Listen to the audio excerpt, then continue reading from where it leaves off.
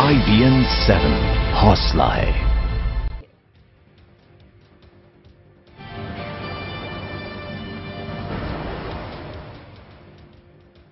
और इस वक्त एक और बड़ी खबर आ रही है। जम्मू कश्मीर से खुफिया रिपोर्ट्स के मुताबिक जाँच एजेंसीज को जानकारी मिली है कि घाटी में कुछ और आतंकी हमले हो सकते हैं।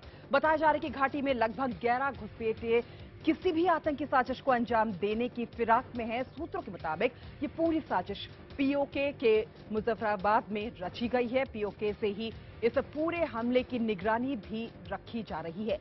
चुनाव वाले राज्य में लश्कर के आतंकी खलल डालने की पूरी कोशिश करना चाहते हैं और इसके लिए बड़ी संख्या में बॉर्डर पार से घुसपैठियों को ट्रेनिंग दी जा रही है। तो खुफिया एजेंसीज की रिपोर्ट है कि और भी ऐसे आतंकी हमले घाटी में हो सकते हैं। 11 आतंकी हमले की जो साजिश यहाँ पर रची हुई नज़र आ रही है। चुनाव में खलल डालने की बाधा पहुँचाने की कोशिश तो जम्मू कश्मीर से यह खबर है। खुफिया रिपोर्ट्स के मुताबिक जाँच एजेंसियों को जानकारी मिली है कि घाटी में कुछ और आतंकी हमले हो सकते हैं। कल हमने देखा कि किस तरीके से 12 घंटे के अंदर चार आतंकी हमले हुए वहाँ पर और उसके बाद पूरे राज्य में अलर्ट जारी कर दिया गया है। यहाँ तक कि राजधानी दिल्ली में भी अलर्ट जारी कर दिया गया है। देश के तमाम महत्वपूर्ण जगहों पर अलर्ट जारी कर दिया गया है। बताया जा रहा है कि घाटी में लगभग 11 घुसपैठिए किसी भी आतंकी साजिश को अंजाम देने की फिराक में आए हैं। चुनाव में खलल डालने का इरादा है। सूत्रों के मुताबिक ये पूरी साजिश पीएको के मुजफ्फराबाद में रची गई है।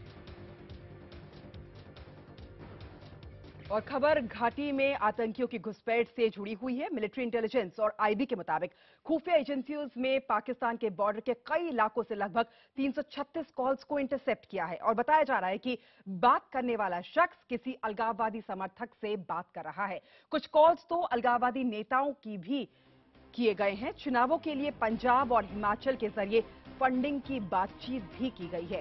कॉल करने वाला शख्स 26 ग्यारह के मुंबई हमले से ताल्लुक रखने वाला बताया जा रहा है। और यही नहीं, पाँच कॉल्स में बात हो रहे शख्स की आवाज़, आतंकी हाफिज सईद से मिलती जुलती बताई जा रही है। इस बातचीत में जम्मू कश्मीर के चुनावों का भी ज़िक्र है, जिसमें कहा जा रहा है कि किसी भी तरह मतदाताओं की संख्या में कमी होनी चाहिए। इसके अलावा बताया जा रहा है कि हाफिज सईद के कॉल्स को भी इंटरसेप्ट किया जा रहा है, जिससे सईद कह रहा है कि उसके पास 300 आतंकी घुसपैठ के लिए तैयार हैं। तो खुफिया एजेंसीज ने कॉल रिकॉर्ड किए हैं। अलगाववादी नेताओं से बातचीत की यहाँ पर खबर है।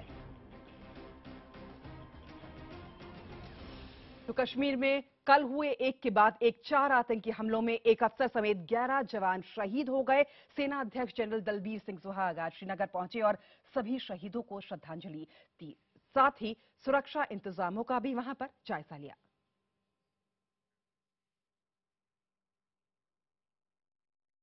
और वहीं आज झारखंड के हजीराबाग में चुनाव प्रचार के दौरान प्रधानमंत्री मोदी ने शहीदों को श्रद्धांजलि दी। उन्होंने कहा कि जम्मू कश्मीर में आतंकी हमले देश के लोकतंत्र पर हमले है। उन्होंने आतंकियों की कार्रवाई को निर्लजतापूर्ण बताया। कल कश्मीर में आतंकवादियों ने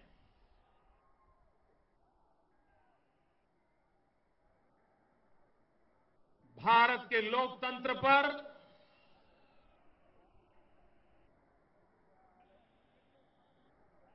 हमला करने का निर्लज प्रयास किया।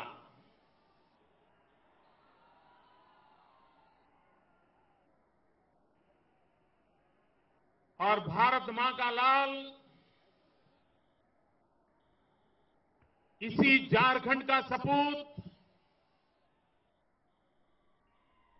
श्रीमान संकल्प कुमार शुक्ला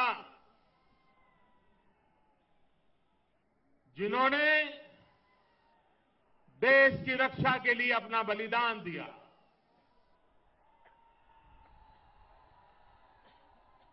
मैं वीर शहीद संकल्प कुमार और शहीद हुए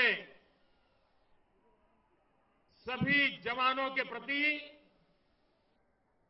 भारत माँ के इन वीर सपूतों के प्रति आदर पूर्वक श्रद्धांजलि अर्पित करता हूँ।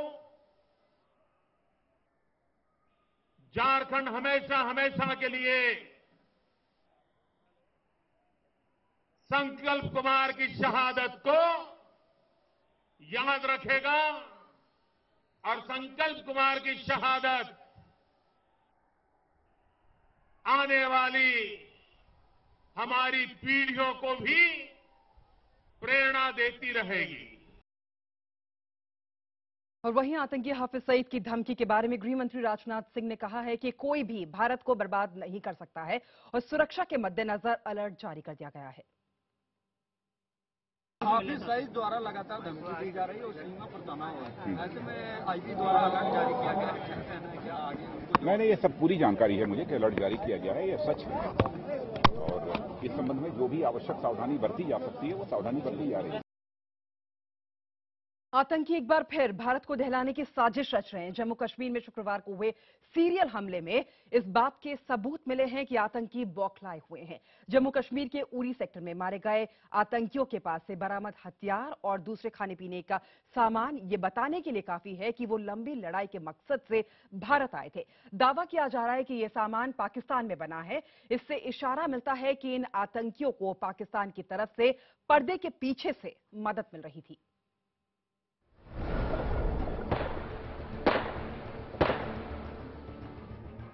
जम्मू कश्मीर को दहलाने के लिए आतंकी एक बार फिर बड़ी साजिश रच रहे हैं। विधानसभा चुनाव में जम्मू कश्मीर के लोगों का उत्साह देखकर आतंकी शायद बौखलाए हुए हैं। लिहाजा वो तिलमिलाहट में लगातार हमले कर रहे हैं। ऐसे में भारत की ज़मीन पर खून खराबे के मकसद को अंजाम तक पहुँचाने के लिए देखिए, आतंकी अपने साथ क्या क्या सामान लेकर आए थे। ये देखिए पहली तस्वीर। इसमें आतंकियों से बरामद ड्राई फ्रूट्स के ढेरों पैकेट हैं। खजूर, बादाम, किशमिश, टॉफियाँ और ये बिस्किट। सुपर ब्रांड का ये बिस्किट पाकिस्तान का नामी बिस्किट है। अब हम आपको एक एक कर बताते हैं कि आतंकियों के पास से लड़ाई के लिए खाने पीने का और क्या क्या सामान बरामद हुआ है। इस दूसरी तस्वीर को देखिए। इस सीलबंद पैकेट पर लिखा है पाव भाजी यहाँ उर्दू में लिखा है एक या दो लोगों के लिए। यानी ये खाना ज़्यादा से ज़्यादा दो लोग खा सकते हैं। पाव भाजी का यह पैकेट इसी साल अप्रैल में तैयार किया गया है और अप्रैल 2015 में इसकी एक्सपायरी है। आतंकियों से कब्जे से बरामद खाने की पैकेटों की तारीख से इस बात का संकेत मिलता है कि आतंकी लंबे वक्त से सीमा पार ट्रेनिंग ले रहे थे और ये सारा सामान ट्रेनिंग के वक्त से ही उनके पास मौजूद था। बहरहाल सुरक्षा एजेंसियाँ जाँच पूरी होने तक कुछ भी कहने के लिए तैयार नहीं है। अब देखिए अगली तस्वीर। पैकेट पर लिखा है चिकन अचारी पैकेट सील होने की तारीख लिखी है अप्रैल 2014 और एक्सपायरी है अप्रैल 2015 इसी तस्वीर में ऊपर की तरफ़ मिल्क पाउडर का पैकेट भी नज़र आ रहा है। इस तस्वीर को देखिए, ये पैकेट स्ट्यू कीमा का है। इस पर सीलबंदी की तारीख है जून 2014 और एक्सपायरी है जून 2015 ये पैकेट है दालमाश का। इसी साल जून में पैक किया गया है और एक्सपायरी है जून 2015 इस तस्वीर में ही किनारे पर चिकन कढ़ाई का पैकेट भी नज़र आ रहा है। खास तौर पर तैयार किए गए इन पैकेट्स पर यह भी लिखा है कि थैली में मौजूद खाना बगैर गर्म किए भी इस्तेमाल किया जा सकता है। साथ ही उर्दू में यह भी हिदायत दी गई है कि थैली लीक होने या फूली होने की सूरत में इस्तेमाल न करें। एक हिदायत और है, थैली खोलने के बाद जल्द से जल्द इस्तेमाल में लाएँ। जरा सोचिए, तैयार खाने का इतना स्टॉक आतंकी हर वक्त अपनी पीठ पर लान कर चलते हैं और ये खाना सिलबंद होने की सूरत में एक साल तक खराब भी नहीं होता। इस तरह से आतंकियों को लंबी लड़ाई के लिए, खाने पीने की चीज़ों के लिए फिक्रमंद होने की ज़रूरत नहीं होती। आपको बता दें कि मुंबई में हुए 26 ग्यारह हमले के दौरान भी आतंकी इसी तरह अपने साथ ड्राई फ्रूट्स और खाने पीने का सामान लाए थे और फिर तीन दिन तक भारतीय सुरक्षा बलों और पुलिस से लड़ते रहे थे। उस दौरान भी पुलिस को आतंकियों के कब्जे से खाने पीने का और दूसरा काफ़ी सारा सामान मिला, जिस पर मेड इन पाकिस्तान लिखा था। जनक दवे, अहमदाबाद, आईबी समेत